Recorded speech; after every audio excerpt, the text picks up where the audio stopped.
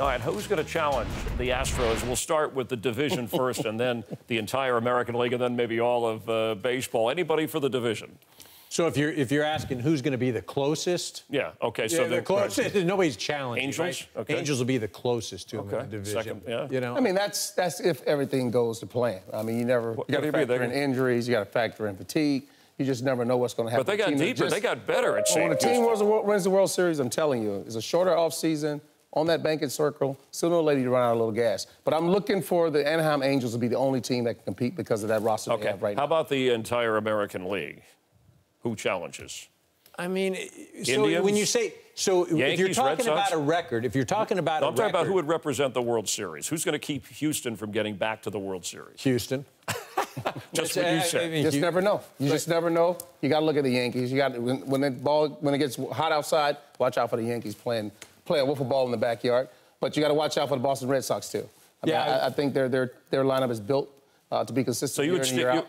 you would stack Yankees, Indians, then maybe, I mean, Yankees, Red Sox, then maybe Indians, if you're challenging. I, challenging the Astros, I think the Red Sox would give them more of a problem than the Yankees. Sale and Price.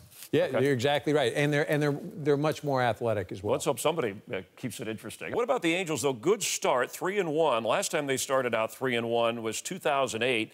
Uh, they won 100 games that year. And Ohtani pitched yesterday. He gets the day off today as the position player. That's the routine Mike Scioscia wants to give him before and after he starts as a pitcher. And he did give a, a good six innings. Were you impressed with uh, with what you saw? I, I was. I, I didn't.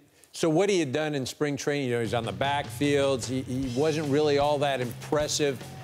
But again, it's spring training, right? And then you have all the adjustment factor. But he, yesterday, he's throwing 100 miles an hour, and he's dropping a nasty splitter. And so he pitched well, or I should say, he threw well. His stuff was. It, it, it's unhittable stuff. I, I don't care who. What, fastball was well, up, the but- fastball. I mean, but- when you're throwing 100, dude, Yep. right? I mean, and then you're dropping a splitter, and you got the. And he wasn't even good yesterday as far as locating stuff or being able to throw the the good slider or. And when he starts to get comfortable with that, when he's throwing that hard, that I mean, that just I don't even know if my man could have hit him in the heyday. Well, I can tell you like this: He's 23 years old, the youngest superstar to come out of Japan. That's overly hyped. Uh, has been the next great one. Uh, I was very impressed with him. Uh, he's so much uh, criticism about his spring training.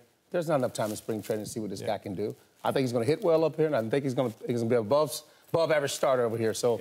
I'm looking for great things for this kid. He's only 23 years old. do, you, do 23 you- years old. do you think he'll be a better hitter or pitcher? I think pitcher. Pitcher, yeah. And his next start uh, is against the Oakland A's again, so he'll get uh, two shots against the A's.